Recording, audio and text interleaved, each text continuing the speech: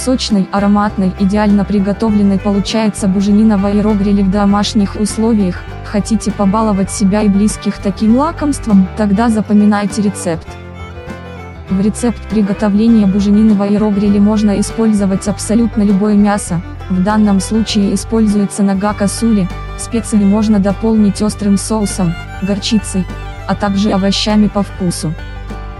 Список ингредиентов в конце видео. 1. В небольшой мисочке соединить соль, перец, специи для мяса, готовые наборы или любимые. При желании можно добавить 1-2 лавровых листочка, добавить оливковое масло и все тщательно перемешать.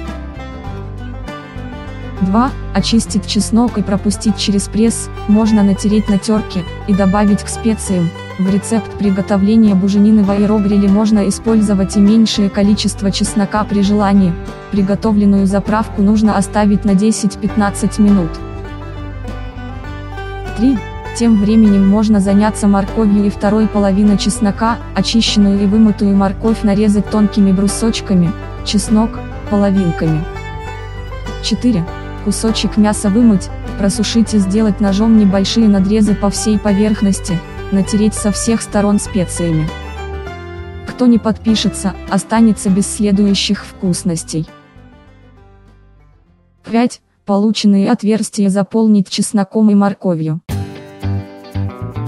6. Нашпигованное мясо переложить на лист фольги и плотно завернуть так, чтобы не вытекал сок, на решетку вяложить мясо и запекать в аэрогриле от 90 до 120 минут, в зависимости от размера кусочка. 7. Когда буженина в аэрогриле в домашних условиях готова, ее лучше оставить в фольге еще на 20 минут, а затем раскрывать и подавать к столу. Вкусняшки, подписавшимся. А теперь ингредиенты.